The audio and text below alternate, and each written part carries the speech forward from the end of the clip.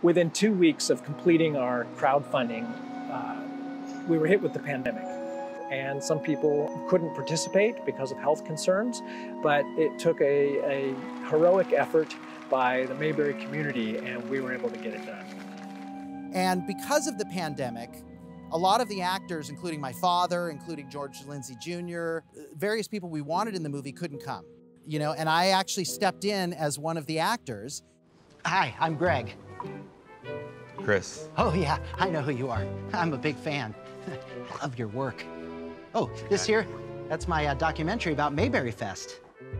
So we kind of created these two characters, these doppelgangers, that were both filmmakers sitting at the autograph table with Brett in the middle, kind of being the referee between these two rivals. And the comedy sort of builds from there.